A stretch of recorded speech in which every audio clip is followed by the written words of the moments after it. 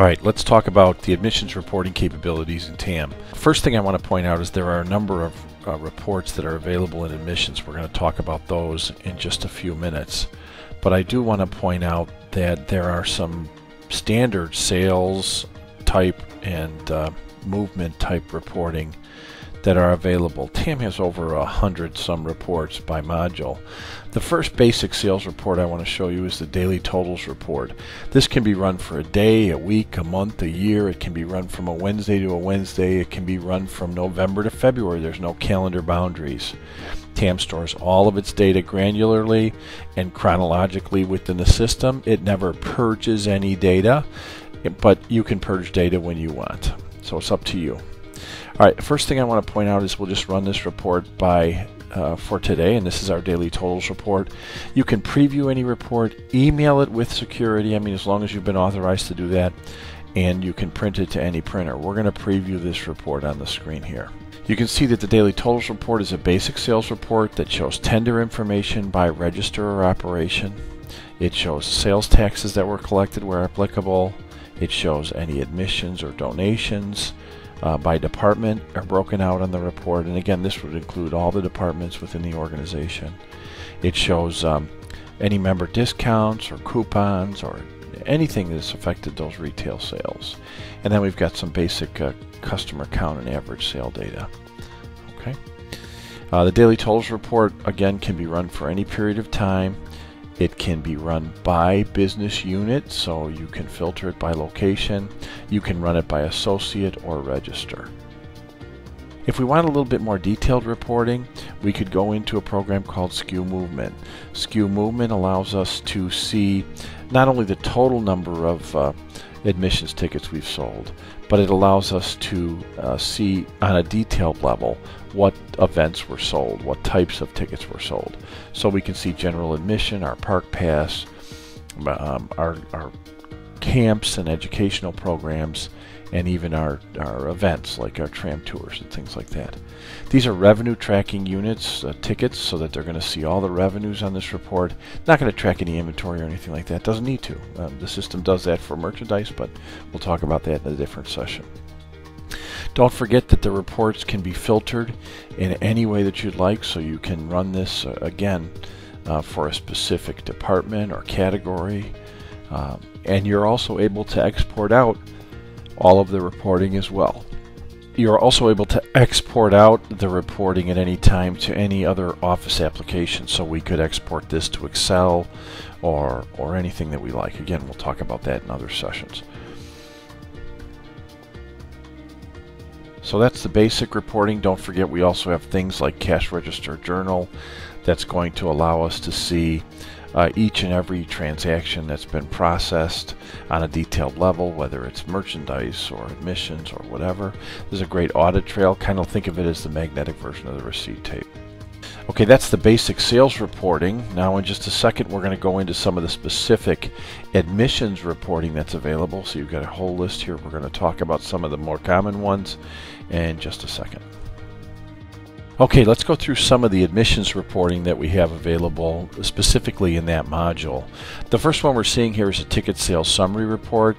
This is going to help us show and group by different methods all of the tickets that we've sold, uh, revenues that have been collected, units sold, percentage of total on both units and revenue.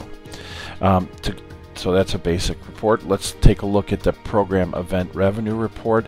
Again, this is more of a program or event based or grouping, but it will also show the detailed tickets that have been sold, not just the number of tickets, but what classes, adult, child, senior. It'll break out units and revenue.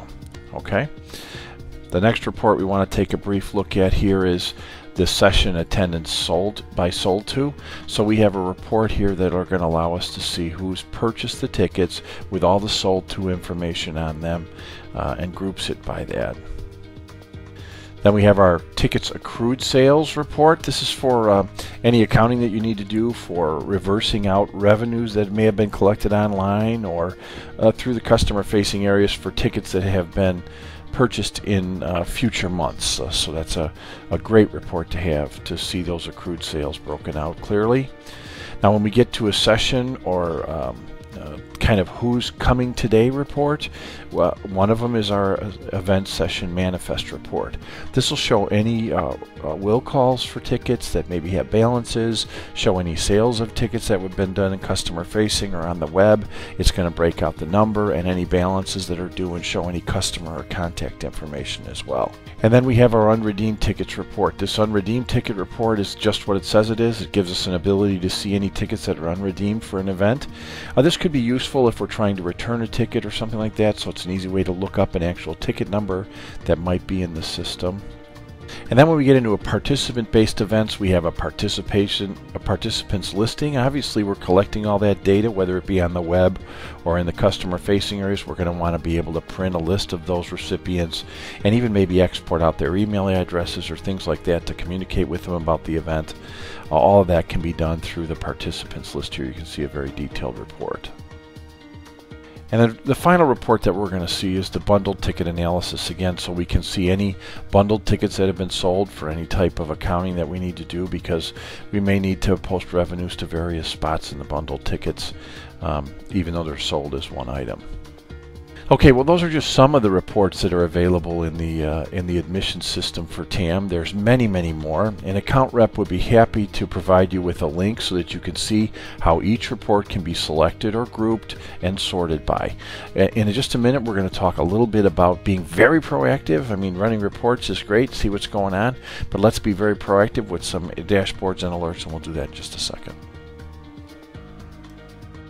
Okay, as, as we just viewed, there's a lot of great reports in the admission system that can be either viewed on screen, emailed with security and, and again approval, and the ability to even uh, print them to any printer on the network and share them with other Office applications.